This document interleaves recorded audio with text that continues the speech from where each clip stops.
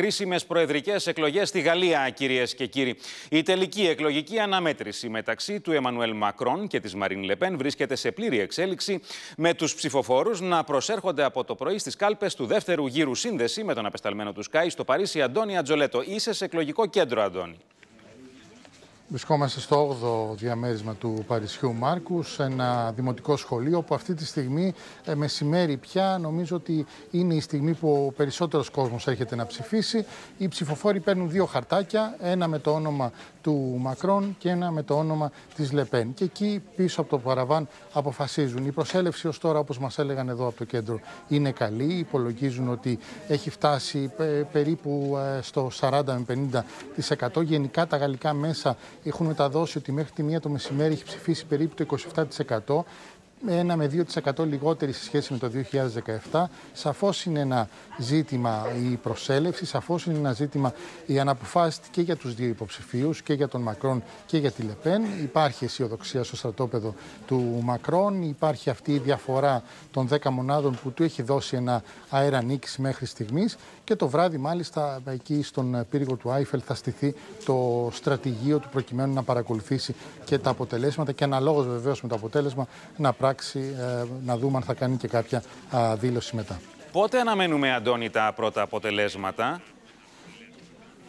9 η ώρα Ελλάδας αναμένουμε μια επίσημη εκτίμηση του αποτελέσματος. Ε, σαφώς καταλαβαίνουμε όλοι ότι αν η διαφορά είναι μεγάλη, κάπου εκεί κλειδώνει το πράγμα και κάπου εκεί έχουμε νικητή. Αν βεβαίως ε, διαψευστούν ως τώρα οι δημοσκοπήσεις, ίσως τραβήξει λίγο παραπάνω. Πάντως ε, γύρω στις 9 ώρα Ελλάδας θα έχουμε μια επίσημη εκτίμηση, Μάρκο. Αντώνη Ατζολέτο, ευχαριστούμε πολύ. Τελική αναμέτρηση Μακρόν Λεπέν, κυρίες και κύριοι, με αιχμή την οικονομία αλλά και το ευρωπαϊκό μέλλον της Γαλλίας. Παραμένουμε στην χώρα για να συνδεθούμε με τον Γιάννη Παλαιολόγο για να μας μεταφέρεις, Γιάννη, όλα τα νεότερα. Καλό μεσημέρι. Βρισκόμαστε εδώ στην πλατεία της ε, Βαστήλη. Βρεθήκαμε νωρίτερα σε εκλογικό κέντρο της περιοχής του Μαρέ που εκτείνεται μεταξύ τρίτου και τετάρτου διαμερίσματος. Είναι προνομιακή περιοχή για τον Εμμανουέλ Μακρόν αλλά και για τον ακροαριστερό υποψήφιο Ζων Λουκ Μελονσόν, η, του, η ψηφοφόρη του οποίου θα είναι απολύτως κρίσιμη για την έκβαση του σημερινού ε, εκλογικού αποτελέσματος. Συνομιλήσαμε με αρκετούς ψηφοφόρους ε, μετά την άσκηση των ε, εκλογικών τους δικαιωμάτων και το κοινό μήνυμα θα έλεγα από τους περισσότερους, οι περισσότεροι ήταν ψηφοφόροι που είχαν ψηφίσει είτε τον Μελονσόν είτε κάποιον άλλο αριστερόστροφο υποψήφιο στον πρώτο γύρο.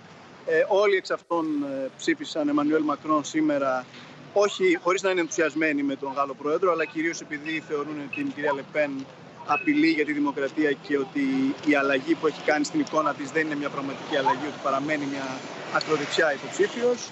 Ε, βρήκαμε και έναν υποψήφιο ο οποίος ε, ε, ήταν υποστηρικτής και ψήφισε την κυρία Λεπέν στο δεύτερο γύρο, ο οποίος ε, από τους βασικούς λόγους που μας είπε ήταν ε, ότι ήταν ανεμβολίαστος και τον ενόχλησε πολύ η πολιτική του κύριου Μακρόν για τη διαχείριση της πανδημίας και ιδιαίτερα απέναντι στους ανεμβολίαστους.